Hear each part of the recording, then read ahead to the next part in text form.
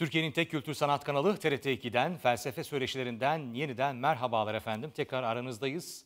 Felsefe söyleşileriyle düşünce ufkumuzda yeni pencereler açmaya devam edeceğiz. Tabii ki Profesör Doktor Şaban Teoman Duralı hocamızla birlikte yapacağız bunu. Hocam hoş geldiniz. Hoş bulduk efendim.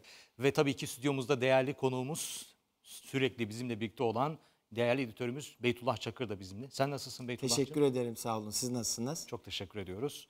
En son Mısır medeniyetini ele almıştık hatırlayacaksın. evet, evet. Mısır medeniyetinden sonra hafiften bir Fenike medeniyetine girmiştik ki hocamız süresi maalesef yetmemişti.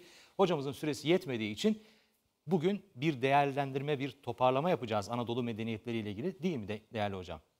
Anadolu, Mısır, Mesopotamya yani Ba- Batı Asya'daki medeniyetleri e, toparlamaya çalışalım ki ondan sonra e, esas konumuz olan Yunan'a geçelim ve Yunan'la bağlantılarını kurabilelim. E, bu vesileyle de iyi akşamlar diliyoruz bütün seyircilerimize, sayın seyircilerimize. E, şimdi bize Burak Batı Asya'nın şeysini verebilirse e, haritasını orada. Bu tabii t- bütün Avrasya ve Afrika e, birlikte geliyor. Bizim söz konusu ettiğimiz şu mıntıkadır. Bu mıntıkada e, şu ge- çok geniş sahanın bir uzantısı. Neyin uzantısı değerli hocam o? Coğrafi olarak daha önce bahsettim. Bu bir bütünlüktür. Avrasya. Bugünlerde çok moda bir laf biliyorsunuz. Coğrafi olarak. Medeniyet babından daha önce yine sözünü ettiğimiz Doğu medeniyetleri camiası şu sahayı e, içine alıyor. Çin, Hint, İslam öncesi İran. Bu medeniyetler zamanla bu çok önemli bir nokta buraya işaret ediyorum. Doğu olarak anılmaya başlandı. Doğu, batı tabi coğrafi bir terim. Medeniyet babından şark ve garp denilirdi. Bu Avrupa dillerinde de böyle geçer. Mesela İngilizce'de doğuya east, batıya west deniliyor ama e, medeniyet düşünüldüğünde orient ve oksident diye geçer. Ne zaman yapıldı bu ayrım ve neden? Bu, bu ayrım, bu ayrım Doğu Batı aslında çok e, eski bir e, şeydir, bir e, adet, bir gelenek. Ama bu sözlerin uygulanması aşağı yukarı 18. yüzyıldır. Başka terimler uygulan. Mesela Anatole şeyde, Anadolu. Yunanca'da doğu demektir. Güneşin doğduğu yer. Ve eee, Yunanlılar bunu kendi dünyalarının zıttı olarak gösterirler ve görürlerdi. Anatole. E, daha sonra Fransızcanın bir sözü kullanılır olmuştur. E, Türkçe'ye de geçmiştir. Fransızca'da Levant, Levant diyoruz biz Türkçe'de. Levantenler Evet. mesela. Kimdir bunlar? Batıdan bize buraya gelmiş olanlar. Batılılar, Avrupalılar onları doğulu olarak görüyorlar. E, Bunlar çoğunlukla İtalyanlardır. Aralarında e, Yahudiler vardır. Başkaları da gelebilir. Çünkü İtalya parçalanmış bir e, dünyaydı. Venedikliler, Cene- Cenevizliler e, ve daha başkaları buraya gelip yerleşmişler. Bilhassa İstanbul havalisine. Anadolu'nun batısına İzmir, Aydın o civarda. Sonra bunlara İngilizler eklenmiştir. Pamuk ekimi Amerika'da pamuk ekilmeden önce bizde ekmeye başlamışlardır. Bunlar hep Levanten olarak geçerler. Ki Levant dediğim gibi Fransızca'da doğu demek, şark demektir. Bu Levant bölgesi de oradan geliyor muhtemelen. Oradan geliyor. Güneşin hep güneşin doğduğu ülke anlamında geliyor. Doğuya açıldıkça batılılar o e, doğuluk kaymıştır. Ve en güçlü imparatorluk İngiltere olduğundan zamanla İngilizlerin bakış açısı yerleşmiştir bu uzak doğu, orta doğu, yakın doğu lafızları İngilizceden geliyor. Far East, Middle East, Near East şeklinde yahut da Middle, e, Orta Doğu, Yakın Doğu şeklinde. E, biz de papağan olduğumuzdan başkaları ne diyorsa onu tekrarlıyoruz. Mesela Batı Asya mı demeliyiz biz? Gayet tabii canım. Sen oturduğun yer Orta Doğu yahut Yakın Doğu olur mu ya? Ne demek bu? Nasıl, nasıl saçma bir şeydir? Yaşadığımız coğrafya bu. Burası Yakın Doğu tabii Londra'ya göre. Ee, neye nazaran? İşte ne bileyim ben Çin'e, Japonya'ya, Kore'ye nazaran burası Yakın Doğu oluyor. Orası uzak. Adama daha yakın burası. Ee, şimdi şu heyeti mecmuuyla şarktır. Medeniyet babından şark olarak kabul edilmiştir. Eee, Avrupa'da. Ve bunun burada bir uzantısı var. Kuzey Afrika'yı da. Afrika her ne kadar Avrasya'nın parçası değilse de eee, medeniyet algılanış itibariyle buraya da şark gözüyle bakmışlardır. E, şimdi tu- tuhaf bir çelişki var. İslam'la ilişkili mi Ha! buradaki bu vurgusu? İslam her ne kadar batı medeniyetleri camiasındansa da bir takım şark özelliklerini gösteriyor. Yaşama tavrı bakımından. Ne demiştim size? Doğu medeniyetlerinin en temel özellikler arasında yiyeceklerde pirinç gelir dedim. Evet. Ee, davranışlarda yerde oturulur dedim. Ee, çoğu kere şey kullanılmaz. Bir oturak kullanılmaz iskemle benzer bir şey. Ayakkabı çıkarılır demiştiniz Ayakkabı mesela. çıkarılır. Ee, benzeri bir takım. Şimdi aklıma gelmiyor. Ailevi kültürler aşağı yukarı benzeş özellikler. benziyorlar. Şimdi bu özellikler, bu saydığım özelliklerin önemli bir kısmı Araplara da sirayet etmiştir. Anlatabiliyor muyum? Ee, İslam medeniyeti teorik olarak kafa yapısı itibariyle Batı medeniyetleri camiasına girmekle birlikte yaşama tarzı yönünden e, İslam medeniyetinin de e, mucidi, ilk yapıcısı, mimarı Araplar olduğundan ve aynı zamanda tabi İran'da İslam'dan önce Doğu medeniyetleri camiasındandı. Onların da getirdiği İslam'a, İslam'ı kabul ettikten sonra, İslam'a e, girdikten sonra beraberlerinde getirdikleri doğulu bir takım medeniyet e, unsurları var, etkileri var. Peki hocam bugün mesela hani Hristiyanlık Batı ile özdeşleştirilen bir şey daha çok değil mi algıda?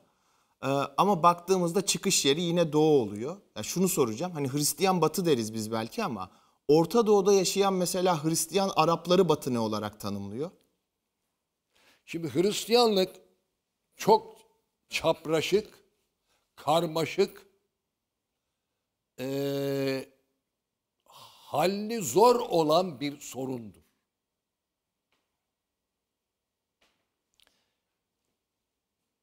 E,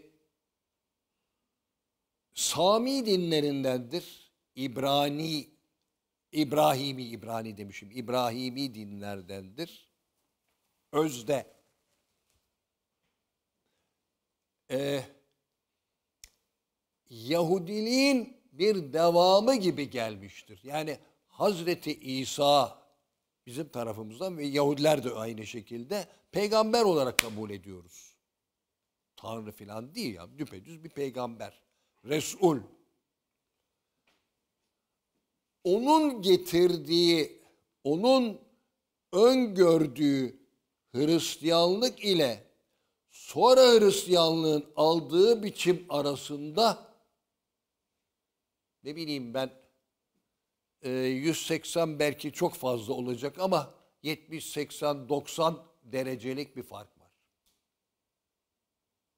Yani matematiğe dökersek açı farkı çok fazladır. E, kurumlaşmış olan Hristiyanlık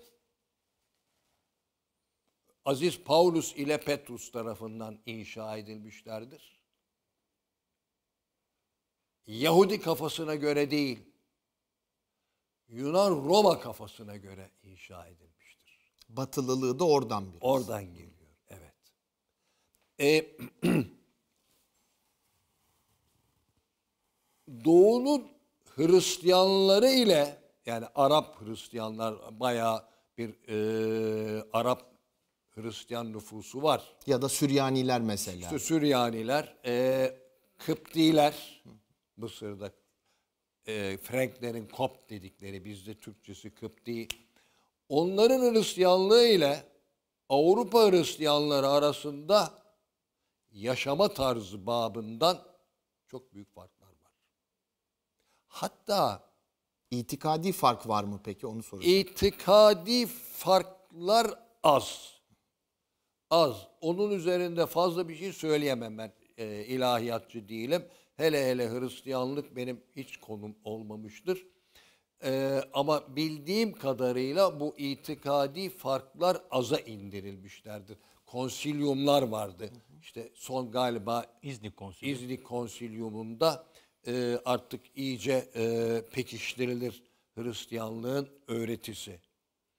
Ondan sapanlar pek yok e, Hristiyan aleminde.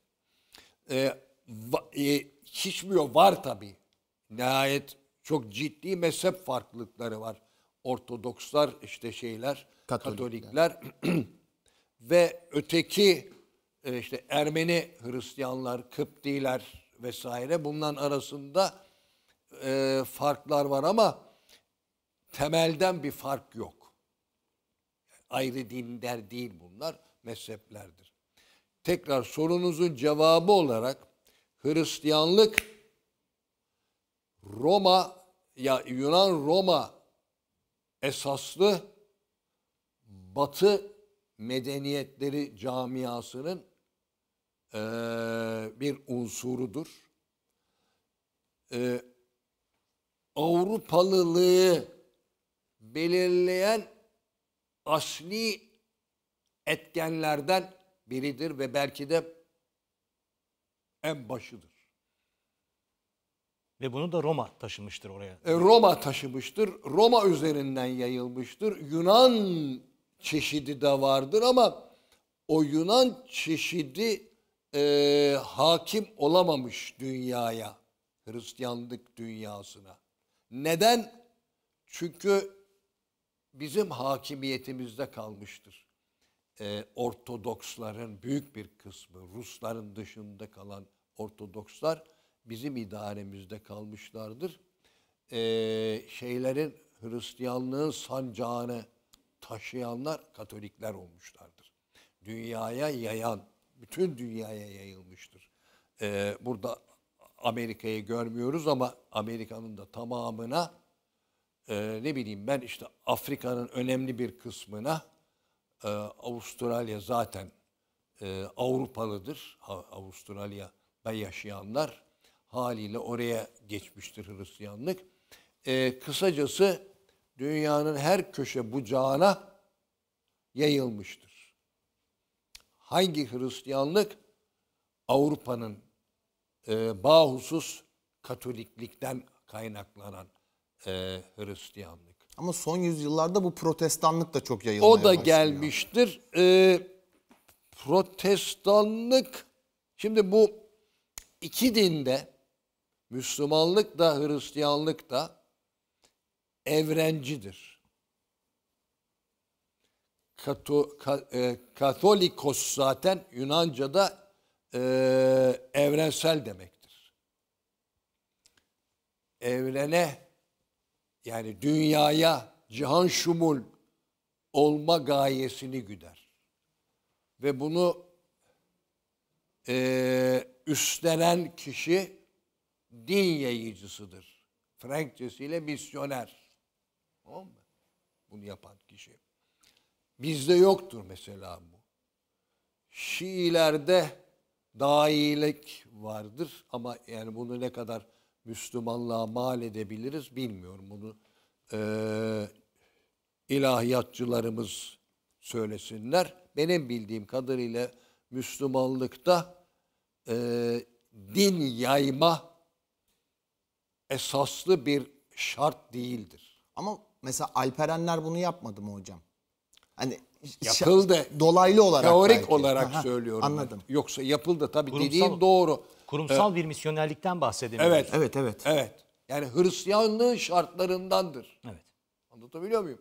Hristiyan olmanın şartlarından biri eee, ilahi kelamı ya, e, tebliğ etmek, yaymak. Bizde de vardır tebliğ et, e, bizde tebliğ ediliyor. Orada hani derler ya biz savaşçıyız, onlar barışçı, tersine oluyor burada. Orada dayakla benimseteceksin bunu. Afrika örneğinde gördüğümüz. Afrika, Amerika, Asya nereye gitmişse eee, bir fasıl dayakla benimsetmiş. iyilikle veya kötülükle. Her neyse. Şimdi yani bunun yargılamasını yapmıyoruz burada. Sadece ben bir resim çiziyorum size. Bu çok önemli bir nokta. Belki bu şu anda bizim esas konumuz değil ama bu son derece önemli ve buraya tekrar geleceğiz daha ileride. Ee, Avrupalı olmanın vazgeçilmez şartıdır.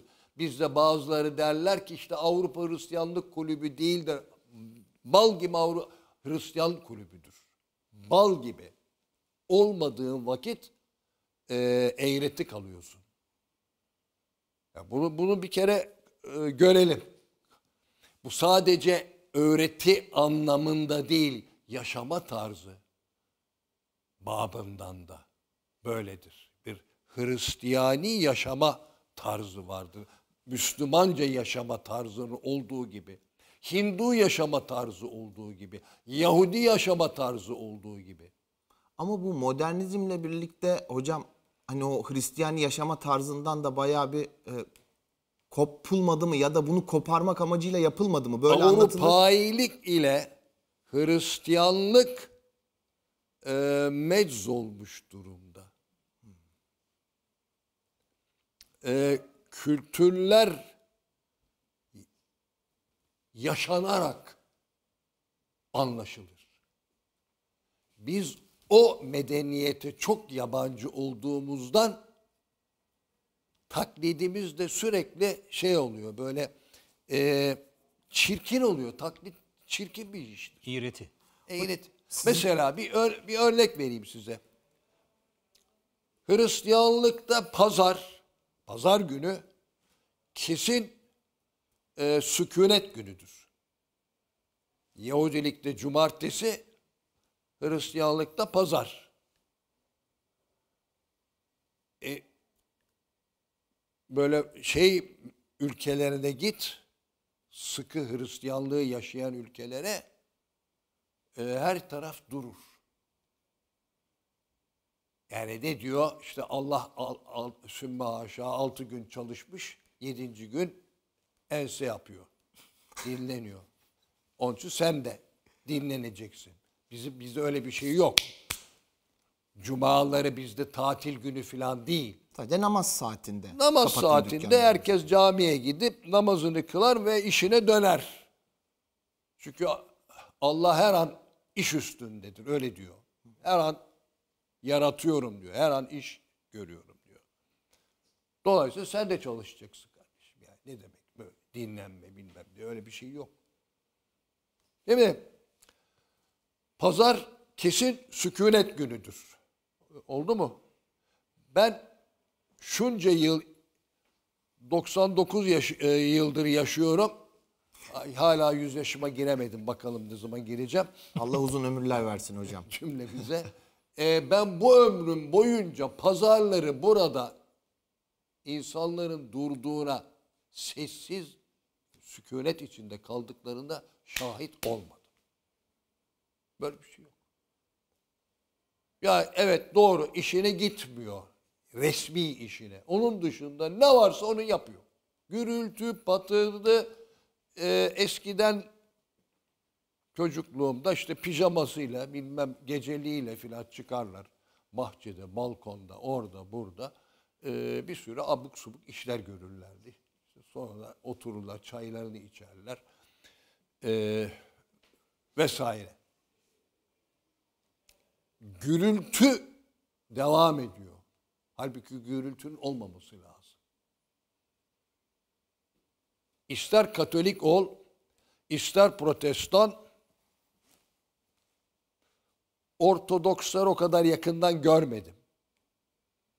Onlar bizimle yaşıyor burada. O bakımdan pek e, fark etmiyorsun o kültür farklılığını. Ama Avrupa'nın kendisinde dediğim gibi mezhep farkları hiç fark etmiyor burada. E, tam bir sükunet hakimdir pazarları. Yahudilikte bu aşırıdır yani artık ışık filan yakmazlar. Ne bileyim yemek pişirmezler, şunu yapmazlar, bunu yapmazlar. Cumartesiler için söylüyorum. Şabat dedikleri şeyde. Ne yaparlar? İbadet ederler. İbadet günüdür o. Neden orada öyle, bizde böyle? E, Hristiyanlıkta dünya işiyle ahiret ayrılmıştır. Anlatabiliyor muyum? Dünyevilik ve uhrevilik ayrımı vardır. Bizde her ne yaparsan yap eee, ruhanidir. Uhrevidir. O ayrım yok. Dolayısıyla falanca yapı dinidir. Filanca yapı e, la dinidir. Filanca tavır dine yöneliktir, dinle ilgilidir. Öbürü kurumlaşmalar mesela. Kilise bir kurumdur. Bizde öyle bir şey yok. O yüzden bizde ruhban da yok. Ruhban da yok. Ee, öyle bir yapı yok. Şimdi Hocam son bir şey soracağım. Şimdi dediniz ya Avrupa bugün dahi bal gibi Hristiyan kulübüdür diye. Şimdi burada hani bugünün Avrupa'sına dair bu tanımlamayı yapmanızdan şöyle bir şey anlıyorum. Doğru mu? Belki itikadi olarak değil ama kültürel olarak bal gibi Hristiyan kulübüdür Tabii demek istiyorsunuz. zaten. Tabii. e, yeni çağ din dışı Avrupa medeniyeti diyorum. Çünkü kurum olarak din e, temelde yer almıyor. Ama onun getirdiği yapılar olduğu gibi Avrupa'da yaşıyor. O kodlar devam ediyor hala. e, dine bu kadar karşı olan, düşman olan Komünizm Partisi Katolik Kilisesi'nin yapısını taklit etmiştir. Mesela. Komünist Partisi'nin bütün yapılanışı olduğu gibi Vatikan'ın e, yapılanışıdır. Auguste Comte da mesela beşeriyet dini diye bir şey ortaya çıkarmaya çalışmıştı. Bu sosyolojinin kurucu babası Auguste Comte. Tabii e, Yani artık yeni ruhbanlar bilim adamlarıdır, akademisyenlerdir tarzında açıklamaları da var. Yani o yapıyı devam ettirmesi açısından örnek alınabilir mi diye Ee, söylüyorum. Şimdi yine Avrupa'ya geldiğimizde tabii bunları çok daha e, şeyle e, ayrıntılı konuşacağız. E, Hristiyanlaşan Av- Avrupa özellikle Orta Çağ Avrupa'sında iki esas zümre belirmiştir. Tanrı'dan el alan, ilahi, uhrevi, ruhban zümresi ile eee, öbürleri ruhban olmayanlar. Ruhban olmayanlar Fransızca'da laik denmiştir. Latince'de laikos, laikus, o da Yunanca'da laikos'tan gelir. Eee, ahali demek Yunanca'da. Kilise dışı demek bir yerde. Türkçe eski Türkçe'de çok güzel bir laf vardı. Karabudun. Karabudun. Karabudun. Laikos tamamıyla karabudundur. Bugün nasıl bunu bugünkü Türkçe'ye ne, ne diyebiliriz? Ahali ayak takımı. Avam. Avam. Karakoyunlular en layık Türk devletiydi o zaman hocam. E, o bütün şeyle ilim dediğimiz olay ruhban e, klerikus zümresindeydi. E, şeyler laikler ki zamanla çok güçleniyorlar yani ruhban olmayanlar ve e, ilimle uğraşmaya başlayan aralarında adamlar var. Bu ilmi onlar ruhbandan öğrendiler. Çünkü manastırlarda ilim tedris ediliyordu. Yanlış hatırlamıyorsam 12. yüzyılda ilk üniversite kuruluyor İtalya'da ve o üniversitenin de nüvesini ruhban teşkil ediyor. Hatta bugün akademide kullanılan doktor ünvanı falan hep kilise Bütün menşeli terminoloji kiliseden gelir. Profesörü, rektörü, e, doktoru, doçenti, bütün terminoloji, fakülte bunlar hep e, Latince asıllı kelimeler ve şeyden gelirler. E, Söyle adını e, ru- kiliseden, kilise kurumundan gelen lafızlardır. Bu mezuniyet törenlerinde bize zorla giydirdikleri kep, cübbe falan o da Ee, muhtemelen bütün cübbeler evet Adnan Menderes'in kara, kara cübbeliler dediği işte hocalar şeyler yani e, ruhbana benzeyen adamlar. Rahibe, papaza filan falan benzeyen adamlar o şeyleri giyenler. e, o kişiler kutsaldılar. Bizde öyle bir şey yok. Yani bu- bizde herkes kutsal. Olmayan yok. Orada kutsal olan ve olmayan ama yani onu onu dediğim gibi vakti gelince daha şey yaparız. E, dolayısıyla zamanla üniversite hocası öyle olmamakla birlikte kutsal olarak görülmüştür. Ne zamana değin?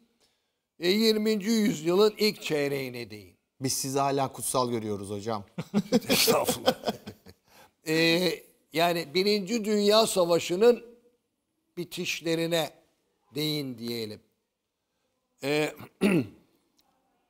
ondan sonra zaten iyice din dışı Avrupa medeniyeti çağdaş İngiliz Yahudi medeniyetine eee şey yapıyor, dönüşüyor. Evrilmeye başlıyor. İnkılap oluyor. Şimdi biz nereden geldik buraya? Şarklılar demiştik. En son- Şark dediğimiz şu geniş coğrafya. Burayı ben dahil etmiyorum. Burası ayrı bir şey. Burası insansız bir yöredir. Zamanla Rusya'nın parçası olmuştur. çok seyrek yaşıyor buradaki insanlar ve onlar herhangi bir medeniyetin parçası değiller. Konar göçer şekilde yaşıyorlar. Dolayısıyla doğu, medeniyetlerinden bahsettiğimizde şu sahayı alıyoruz. Şu sahayı.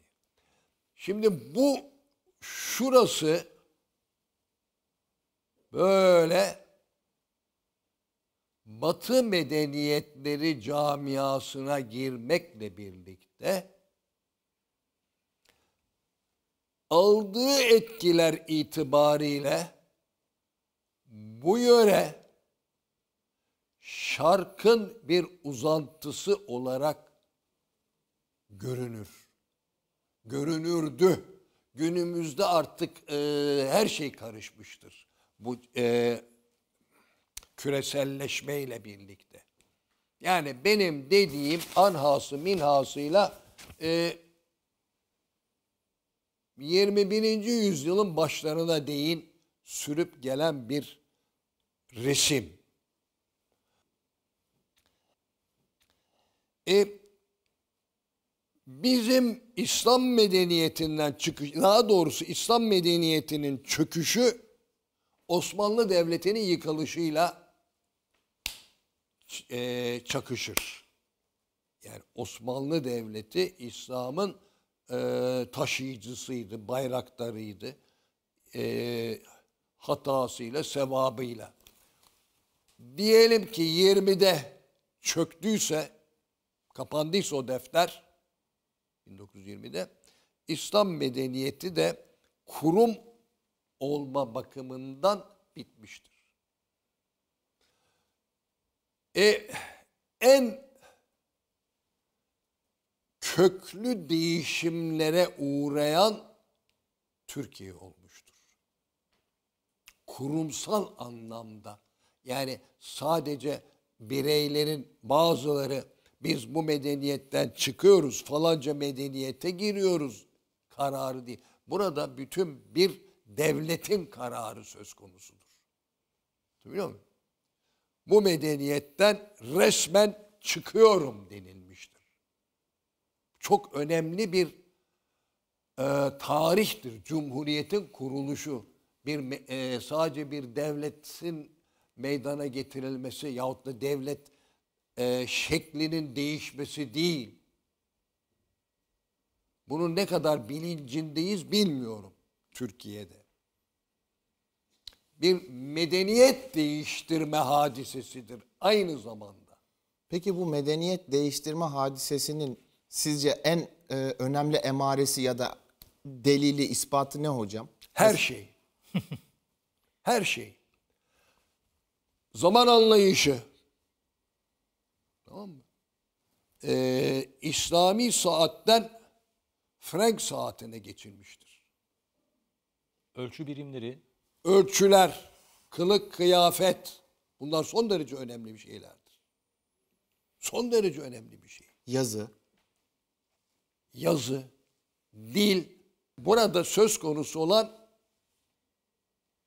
medeniyet değiştirmektir ve e, Müslüman olan milletlerin, toplumların dilleri İslamidir. Hangi dili ele alırsan al, Swahili, Malayca, ne bileyim ben Urduca, Kuzey Afrika'daki Berber dili hepsi bunlar İslami dildirler. Yani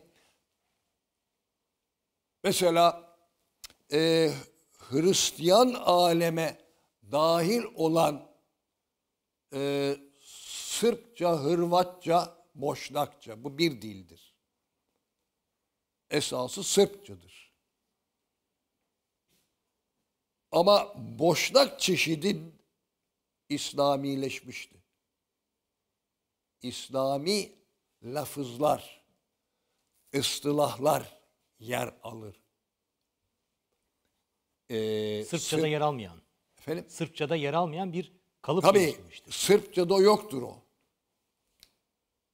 Selamün aleyküm vardır, aleyküm selam vardır, e, maazallah vardır, inşallah vardır. Boşnaklarda, Sırplarda yok o gayet tabii. Ama dil esasında aynı. Bütün bu sadece dini lafızlar değil, gündelik konuşma dili içerisinde de Boşnakça'da e, İslam'ın temel dili olan Arapçadan gelme, bizim üstümüzden gitmiştir. Biz de böbürleniriz, Türkçeden gel değil, yani Türkçeden geçmiştir ama sen de bunu Arapçadan almışındır. Bir kısmını da Farsçadan almışız tabii. Ee, öz Türkçe kelimeler var mı? Var. Ama azdır. Köprü mesela. Çupriya diye geçer. Sonuçta e, medeniyet bir bütünlüktür. E, bölük pörçük alınmaz o.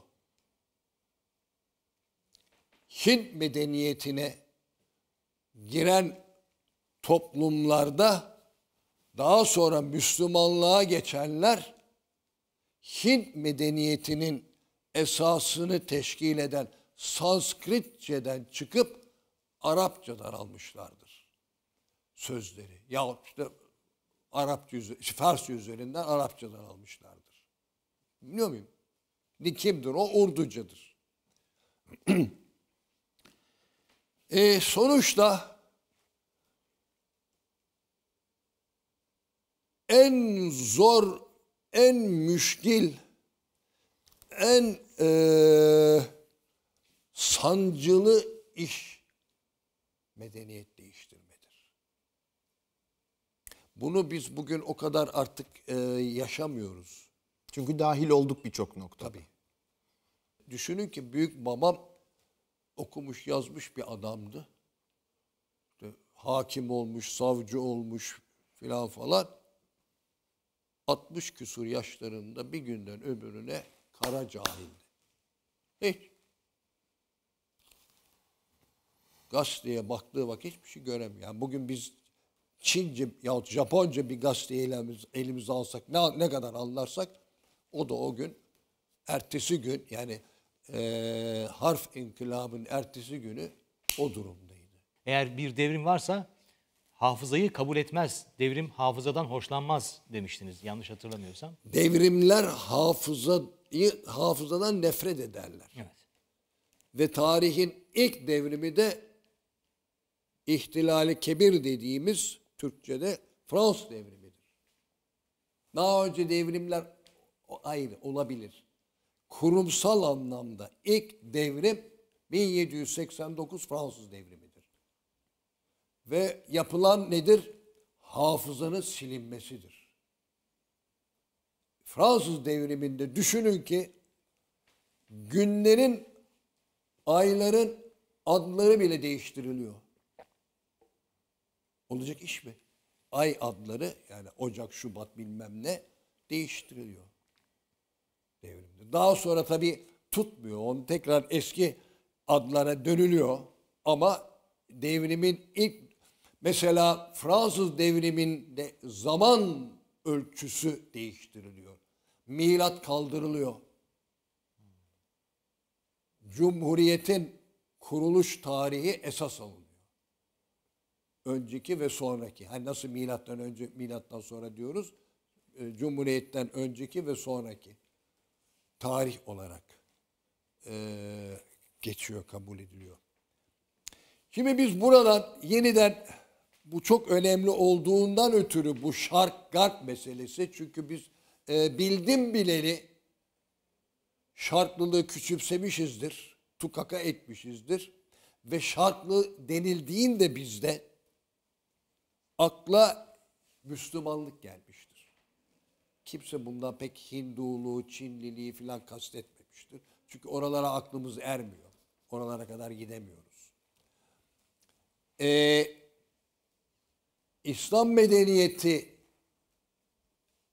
bir medeniyet e, yapısı, yapılanışı olarak tekrar ve tekrar söylüyorum Batı medeniyetleri camiasına girmekle birlikte yaşama tarzı itibariyle gerek Araplardan gerekse İran'dan Doğu'nun etkilerini yansıtmaktadır. E, Daha önce bahsettiğim neyse o etkiler yani o, o, o, o unsurlar onları bize hep göstermektedir. Hocam peki çok kısaca mesela İslam medeniyetinin teorik olarak batılı olmasını olduğunu neden söylüyorsunuz? Tek tanrılı din. Bir, vahiy dini. Tek tanrılı vahiy dini. Ee, ne demiştik daha önce? Doğudaki dinler bilgeliklerden türemişlerdir. Burada bilgelikten filan gelmiyor. İnanırsın inanmazsın o başka bir şey o sana kalmış bir olay. Ama din kendini böyle tarif ediyor. Ben diyor tabiat üstü, insan üstü,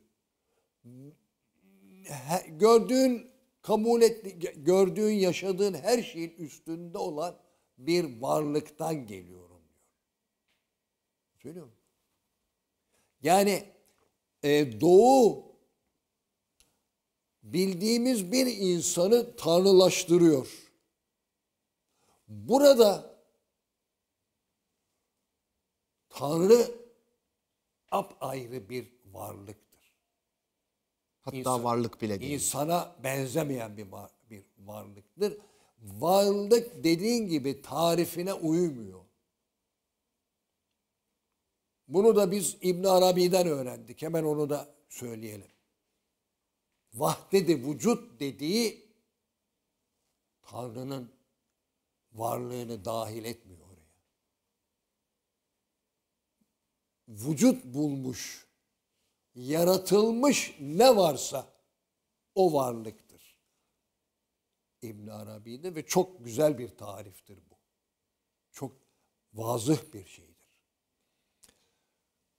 Batı medeniyetleri dine, dinden kaynaklandıkları gibi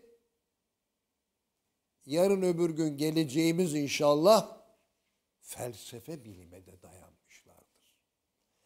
Felsefe bilime dayanmak demek aklı salt almak demektir.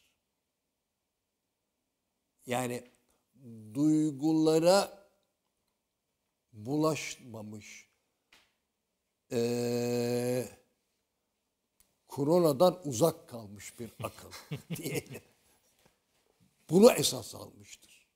Ama Doğu medeniyetlerinde böyle bir özellik yoktu demiştik. Doğu medeniyetlerinde bir yüzyıldır tekrarlayıp durduğum bir şey. Felsefe, bilim ortaya çıkmamıştır. Bu Batı medeniyetleri camiasına mahsustur. Doğu bu yüzden aşağılık mıdır? Hayır efendim. Bu bir özelliktir. Bu kadar. Özelliktir. E, doğuda olan da batıda çıkmamıştır hocam yani. Birçok Çıkar veya çıkmaz bilmiyorum. Yani onların onun e, şimdi e, çetelesini çıkarmanın alemi yok. Afrika'da insanlar gayet güzel yaşamışlar. Nesillerini sürdürmüşler. Ne vahiy dinleri vardı, ne felsefe bilimleri vardı, ne o vardı, ne bu vardı.